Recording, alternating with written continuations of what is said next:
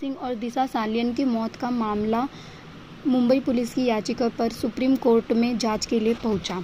अभिनेता सुशांत सिंह राजपूत और उनके पूर्व प्रबंधक दिशा सालियन की मौत की मुंबई पुलिस की जाँच की विस्तृत रिपोर्ट के लिए बुधवार को सुप्रीम कोर्ट में एक जनहित याचिका दायर की गई। ये जनहित याचिका अधिवक्ता पुनीत ठांडा ने दायर की है। याचिका में दावा किया गया है कि मौत की दो घटनाएँ आपस में जुड़ी हुई हैं, क्योंकि दोनों की मौत की परिस्थिति सेम ही नज़र आती है। याचिका में कहा गया है कि सुशांत सिंह राजपूत की मौत के बाद दिशा और सुशांत की मौत के बीच कई तरह की साजिशें सामने आ रही हैं, क्योंकि दोनों की संदिग्ध परिस्थितियों में ही मौत हुई है और दोनों अपने पेशेवर में काफ़ी अच्छे थे। मैं सफलता की ऊंचाइयों पर था। अट्ठाईस वर्षीय दिस सालियन का निधन मुंबई के मलाड, पश्चिम में। 8 जून को एक आवासीय इमारत की चौथी मंजिल से गिरने के बाद हो गया था। इसी तरह सुशांत सिंह राजपूत 14 जून को मुंबई के उपनगर बांद्रा में अपने घर पर संदिग्ध परिस्थितियों में मृत पाए गए।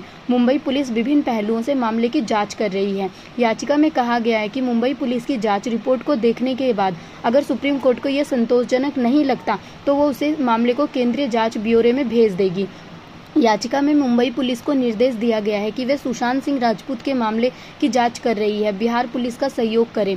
इससे पहले दिन में अभिनेत्री रिया चक्रवर्ती की याचिका पर सुनवाई के दौरान सुप्रीम कोर्ट ने कहा था कि प्रतिभाशाली अभिनेता सुशांत सिंह राजपूत की मौत का सच सामने आना चाहिए। साथ ही न्यायमूर्ति हरिकेश राय की एकल पीठ ने महाराष्ट्र और बिहार सरकार के साथ साथ सुशांत सिंह राजपूत के पिता कृष्ण किशोर सिंह को तीन दिनों के भीतर अभिनेत्री रिया चक्रवर्ती की याचिका पर जवाब दाखिला करने का निर्देश दिया है।